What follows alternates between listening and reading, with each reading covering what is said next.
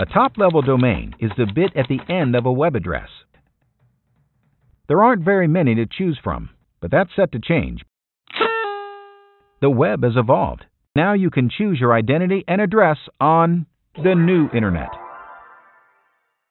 Soon, there will be TLDs that say what you do for a living. Legendary!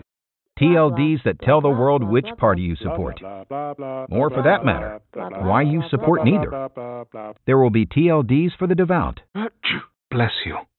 TLDs that show where you come from. TLDs that position you as a leader among men, a leader among the UN, or a leader who has the toughest job in the world. There are 250 million domain addresses today, mostly .com. Eventually, there will be billions. Right now, almost everybody has an email address. This is Saris. Soon enough, most people will have a domain identity too.